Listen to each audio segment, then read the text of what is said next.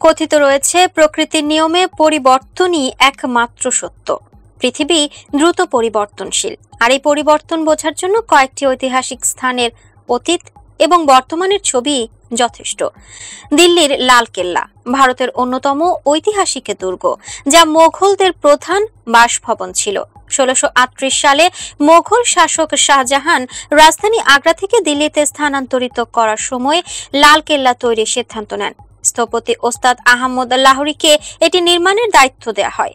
উনিশশো সালে সেই লাল কেল্লার ছবি এবং এখনকার লাল কেল্লার ছবির মধ্যে বিস্তর ফারাক।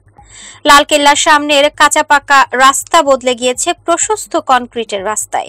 উনিশশো পাঁচ সালের তোলা ছবিতে হাতে গোনা লোকজন দেখা গেলেও দুই হাজার উনিশ সালে তোলা একটি ছবিতে মানুষের ভিড় স্পষ্ট।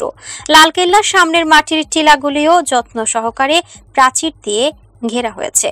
পরিবর্তন লক্ষ্য করা যাবে জাপানের হিরোসীমাতেও। দ্বিতীয় বিশ্বযুদ্ধের কালে উনিশশো পঁচানব্বই সালের ছয় অগস্ট পরমাণু বোমা নিক্ষেপ করা হয় হিরোসীমাতে।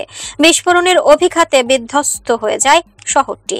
প্রচুর সাধারণ মানুষ মারা যান। কিন্তু বর্তমানে হিরোসীমা শহর দেখলে বোঝা যাবে না এত বড় একটি পরমাণু হামলার সাক্ষী শহরটি ঝা চকচকে রাস্তা এবং ইমারতে মুছে গিয়েছে বিস্ফোরণের চিহ্ন। শহরের মাঝ বরাবর শান্তভাবে বয়ে যাচ্ছে ওটা নদী। মিল পাওয়া যাবে না একশো বছর আগে সুমেরুর সঙ্গে, বর্তমান সুমেরুর। বিশ্ব উষ্ণায়নের প্রভাবে মোটা মোটা বরফের প্রাচীর পাতলা হয়েছে। বরফে ঢাকা পর্বতমালা এখন অনেক বেশি দৃশ্যমান। বেড়েছে মানুষের আনাগোনাও। চিচেন ইরসা ঐতিহাসিক মায়া সভ্যতার মানুষের তৈরি এক আশ্চর্য শহর। মেক্সিকোর ইউখাটানের এই শহর আঠারোশো একচল্লিশ সালের আগে ছিল লোকচক্ষুর আড়ালে। জঙ্গল এবং মাটিতে ঢাকা, কিন্তু বর্তমানে তা পরিণত হয়েছে পুরো দস্তর পর্যটন কেন্দ্রে। যে জায়গায় বহু যুগ মানুষের পা পড়েনি, সেখানে এখন প্রতি বছর লক্ষ লক্ষ মানুষের ভিড় দেখতে পাওয়া যায়। প্রমোদ শহর সিঙ্গাপুরের বিশন পার্ক সে শহরের একটি জনপ্রিয় জায়গা। কিন্তু তিরিশ বছর আগের বিশন পার্কের সঙ্গে এখনের বিশন পার্কের মধ্যে বিস্তর ফারাক। পার্কের নকশা বাদে আর কিছুই প্রায় এক নেই। পার্কের চারপাশে গজিয়ে উঠেছে একাধিক আকাশ ছোঁয়া ইমারত। পার্কের মধ্যে বেড়েছে গাছের সংখ্যাও। মাত্র ২০ বছর আগের মস্কো শহরের সঙ্গে বর্তমানের মস্কো শহরেরও বিস্তর ফারাক। সেই শহর আগের থেকে অনেক ব্যস্ত, অনেক উন্নত।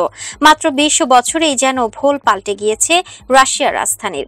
সরকারি ভবনের আশেপাশে গজিয়ে উঠেছে অনেক বেসরকারি সংস্থার ভবনও। আমেরিকার নিউ ইয়র্ক শহরের বিখ্যাত ফ্ল্যাট আয়রন ভবনের বয়স একশো বছর পেরিয়েছে। ইমারতের চেহারায় বিশেষ পরিবর্তন না দেখা গেলেও বদলে গিয়েছে সামনের রাস্তাঘাট, দোকান বাজার। আগে যে রাস্তায় গুটি কয়েক ফিটন গাড়ি চলতে দেখা যেত, এখন সেখানে অত্যাধুনিক গাড়ির ভিড়। বিজ্ঞাপনের ভারে ঢাকা পড়েছে আশপাশের অনেক বড় বড় বাড়ি। আমেরিকার অন্যতম বাণিজ্য শহর লস অ্যাঞ্জেলস। যে শহরের যে কোনো দিকে তাকালেই চোখে পড়বে আকাশ ছোঁয়া বহুতল, ঝা চকচকে রাস্তাঘাট, অফিস, রেস্তোরাঁ। কিন্তু এই শহরই একসময় ফাঁকা জমি ছাড়া আর কিছুই ছিল না। মাঝে মধ্যে গুটি কয়েক বাড়ি লক্ষ্য করা যেত। এখানকার মানুষজন মূলত কৃষিকাজ এবং গবাদি পশু পালন করেই দিন গুজরান করতেন। দুবাই বিশ্বের নামি দামি হোটেল, ঝাঁচকচকে রাস্তা, রেস্তোরাঁ, শপিং মল কি নেই আরব সাগরের তীরের এই শহরে? দুবাই আরবের সব থেকে বড় এবং জনবহুল শহর। বিত্তশালীদের শহরও বটে। দুবাইয়ে রয়েছে বিশ্বের উচ্চতম ইমারত বুর্জ খলিফা আটশো মিটার। কিন্তু মাত্র তিরিশ চল্লিশ বছর আগে অবধি দুবাই ছিল একটি বালি শহর।